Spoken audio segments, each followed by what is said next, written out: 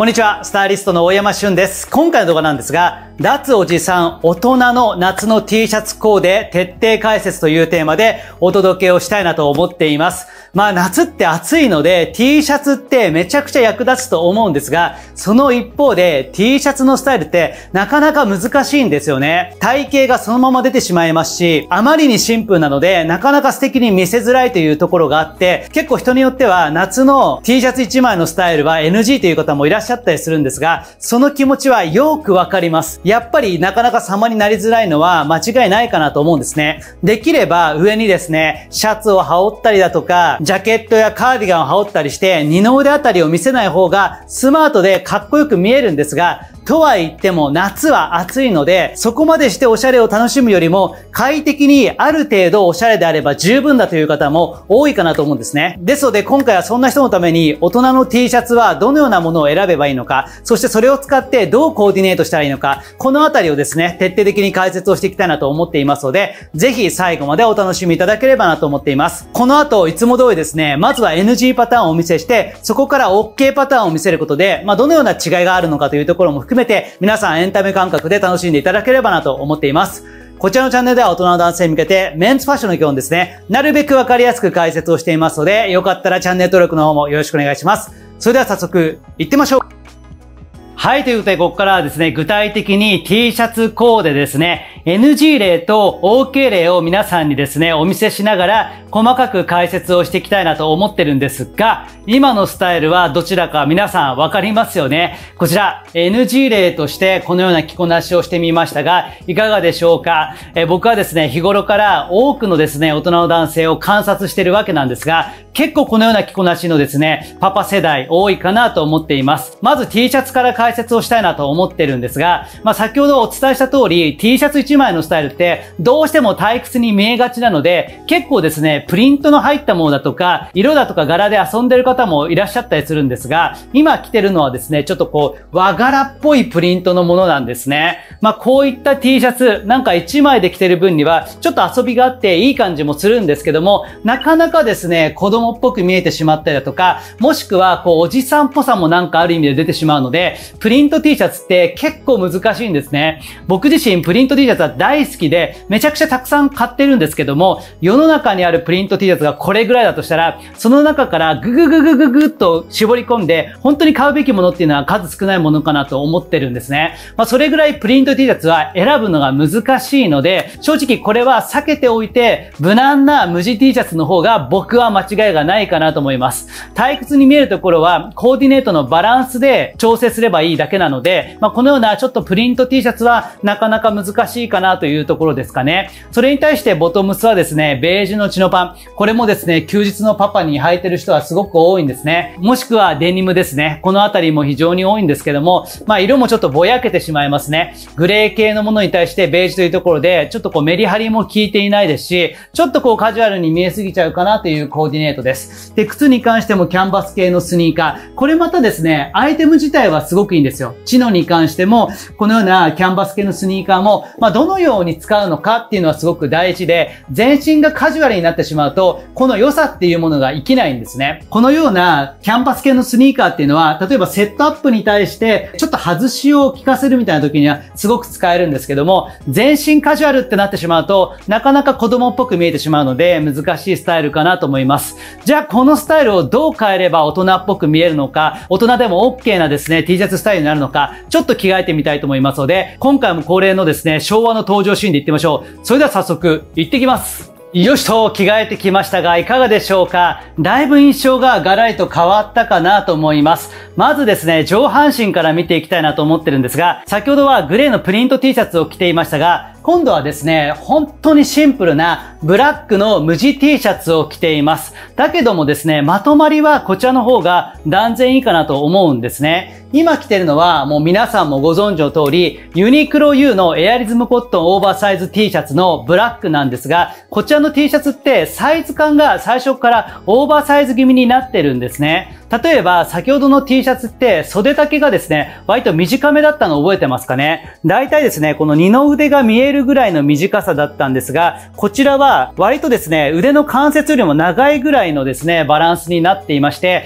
大人の男性だったらできれば隠したい、この二の腕のラインですね、このあたりがしっかりとカバーされるので、かえって体型カバー力が高い T シャツと呼べるかなと思います。あとは身幅に関してもこちらゆったりとしていまして、体のラインを拾わないんですね。先ほどはジャストサイズだったんですよ。どちらも M サイズなんですが、身幅にゆとりがあった方が今っぽさも出るし、体のラインを拾わないので、割とこうストンとした見た目になるので、スタイル補正力が高いのはこちらの T シャツかなと思います。シンプルなブラックの T シャツだからこそ、サイズ感を今っぽく少し緩めにすることで、退屈に見えないようなバランスになるかなと思います。僕もですね、無地系の T シャツ、いろんなものを今年買って、まあ、どれが大人の男性に似合いやすいかなと考えた結果、意外とブラック、これがですね、シャープに見えるし、大人っぽくて上品に見えるので、使い勝手がいいんじゃないのかなということで、今回はまず一つ目のコーディネートに持ってきました。で、ボトムスなんですが、先ほどはベージュのチノパンを合わせましたが、まあどうしても明るい色だとカジュアル感が出てしまったりだとか、ぼんやりとした印象になってしまうので、今回はモノトーンでまとめました。ブラックの T シャツに対してグレー系のパンツですね。これもですね、ちょっとスラックス見えするようなイージーパンツですね。腰はゴムが入っていて、前はドローコードがついているようなカジュアル感のあるパンツではあるんですが、見え方としてはスラックス調のものですね。こういったものでグレーで合わせてあげると、モノトーンの着こなしが完成するので、T シャツ1枚のスタイルでもカジュアル見えしすぎないんですね。で足元はラフにサンダルを履いています。だけども、スウェード素材を使ったビルケンシュトックのものを履いているので、そこまでカジュアルに振りすぎていないですし、色に関してはブラックとグレーのみというところで、すごくシンプルにまとめることで、大人世代にも使いやすいようなコーディネートが完成したかなと思います。まあ、ここに対して、まあ、やっぱり T シャツはシンプルになりすぎてしまうので、時計であったりだとか、あとは僕は結構小物が好きなので、バングルだとかリングをつけたりしていますが、このあたりはお好みでいいです。ただ、時計だけはしておいた方がいいかなと思うんですが、バングだとかリングに関しては、好き嫌いもあると思いますし、ちょっとチャラく見えたりする可能性があるので、このあたりはですね、お好みで付け加えていただければなと思います。あと僕はですね、これに加えて、いつもしてるようなですね、メガネですね、カラーレンズがうっすら入ったようなものをしながら、最後に味付けしてあげると、割とこう退屈に見えないかなと思うので、まあ、このような着こなし、まず一つ目として、ぜひ皆さんもトライをしていただきたいなと思っています。はい、続いて2つ目のコーディネートなんですが、今度もまた無地の T シャツなんですが、先ほどはブラックだったんですけども、今回はですね、ダークグリーンのちょっと色味が綺麗な T シャツに着替えてみました。これもですね、すごくよくやるコーディネートのコツなんですが、ブラックの T シャツでギュッと引き締めるのも、これはこれでシャープでかっこいいんですが、それ以外の方法として T シャツの色味をですね、少し綺麗な色に変えてあげるというのも、大人の男性には似合いやすい一つのですね、テクニックなので、ぜひ覚えていただきたいなと思っています。僕が今着てるのは、これ去年のものなんですけども、グリーンレベルさんとコラボで作ったダークグリーンの T シャツなんですが、このようなダークグリーンだとか、あとはですね、今季の無印のこういったオリーブ系の色ですけども、ちょっとこう華やかさのあるような色なんかもすごくですね、大人の男性には似合いやすいと思います。他には今季のユニクロ U のこのブルーの T シャツ、ブルー系も結構似合いやすかったりするんですね。ブラックだとかネイビーとかに比べると鮮やかなんだけども、そこまでぶっ飛びすぎてないのでで気軽に取り入れやすいと思います。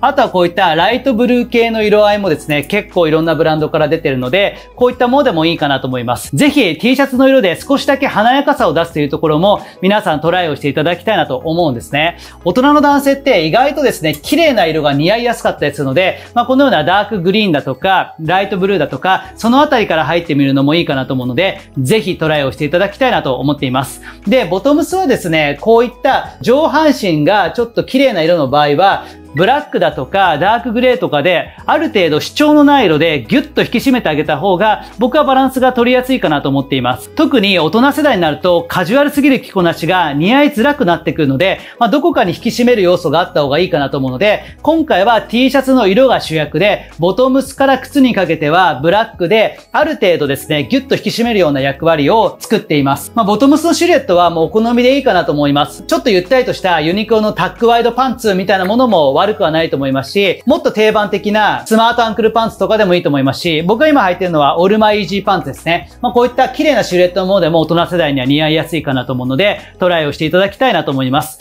で、足元に関しては白レザースニーカーですね。このあたりが鉄板で間違いなくですね、はまってくるんですが、まあ、今回は夏のコーデということで、ある程度軽快なものでまとめたいなということで、えー、こちらはですね、キーンのユニークというシリーズのですね、サンダルを履いています。ちょっと肌が見えるだけで、ブラック系のサンダルなんですけども、軽快な感じも出せるかなと思いますし、意外とスポーティーなサンダルの中でも、これぐらいですね、シックに上品にまとまるものってそんなに多くはないので、かなり使い勝手のいいサンダルになるかなと思います。このコーディネートもかなり使いやすいので、ぜひ皆さんトライしていただければなと思っています。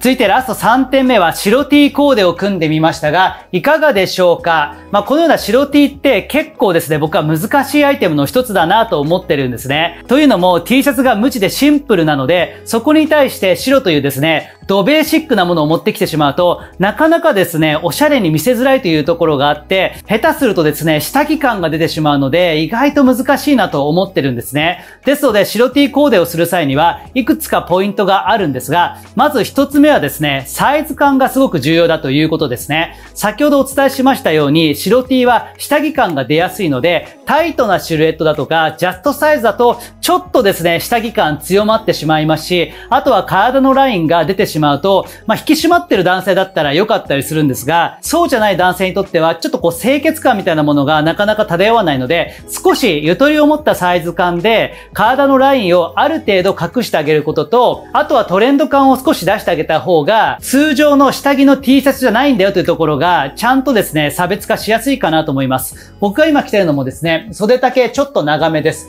腕の関節ぐらいまでの長さになってまして、身幅はゆったりで、着丈はですね、ちょっと短短めですね。これはユナイテッドアローズのオリジナルのもので、生地もですね、ちょっとこう薄手ではなくて、少しだけ厚みもあるんですね。ここも大事で、白 T の素材が薄すぎると、本当に体のラインを拾ってしまいますし、カジュアル感が出すぎてしまうので、やや厚みがあった方がいいかなと思います。透け感みたいなものも気になりますので、そのあたりはすごく重要かなと思っています。で、素材の質感も大事で、いわゆるコットンのですね、武骨な感じのですね、T シャツ、すごくいいと思うんですよ。ユニクロ U のクルーネック T シャツのような感じですね。ああいったものもいいんですが、すごくカジュアルに見えてしまって、下着感がやっぱり出てしまうので、1枚で着た時に様になるようなものですね。ユニクロ U のエアリズムコットンオーバーサイズ T シャツも表面に微光沢があるので、あれもですね、1枚で着るにはすごく適した T シャツだなと思うんですね。まあ、こちらもやっぱり表面に微光沢があって、上品な雰囲気が漂うので、まあ、ぜひですね、白 T を買うのであれば、少し頑張って、セレクトショップのオリジナルぐらいの価格帯で買うと、割とですね、様になりやすいかなと思っています。そして、ボトムスなんですが、白 T に対してどんなものを合わせるのかというと、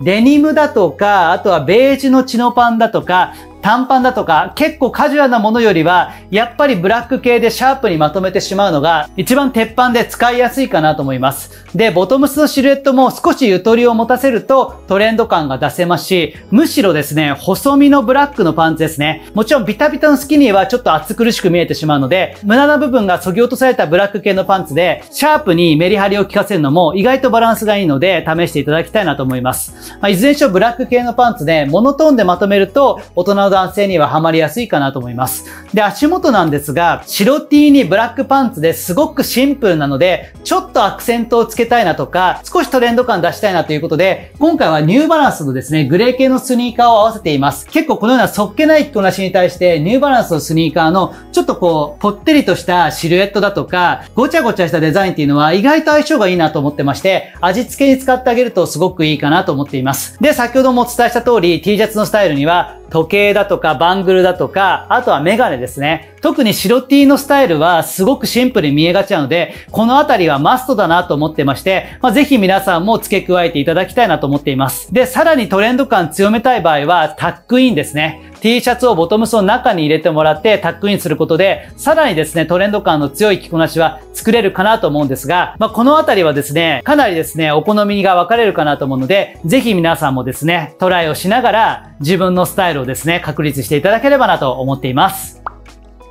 いやー、いかがでしたでしょうか？皆さん。今回の動画では、脱おじさん大人の T シャツコーデ徹底解説というテーマでお届けをさせていただきました。僕もですね、年々年を重ねるごとにカジュアルすぎる着こなしがどうもしっくりこないなと感じるようになったんですね。ですので、T シャツ1枚だとか、短パンだとか、こういったものはなかなか難しいかなと思うんですよ。ただ実際に夏を迎えると、もう暑くてそれどころじゃないんですね。おしゃれを楽しみたい、なるべく大人っぽく上品に見せたたいっていう思いはあるんだけども、やっぱり快適さっていうのも大事だと思うので、まあそういう時にはですね、T シャツのスタイルをなるべく今回お伝えしたような工夫を取り入れながらですね、存分に皆さんにも楽しんでいただきたいなと思ってるんですね。まあちょっとしたコツさえ掴んでしまえば、いつもの T シャツスタイルをガラリと変えることができますし、大人っぽく上品に見せることもある程度は可能かなと思うので、まあぜひ皆さん今回の動画も参考にしていただければなと思っています。これからもこちらのチャンネルでは大人の男性に向けてメンツファッションの今日ですね、なるべくわかりやすく解説したいなと思ってるんですが、普段の僕のチャンネルでは取り扱わないようなセレクトショップのオリジナルからドメスティックブランド、そして専門ブランドまでですね、このあたりの中期者向けの内容に関しましては、僕はもう一つ運営してます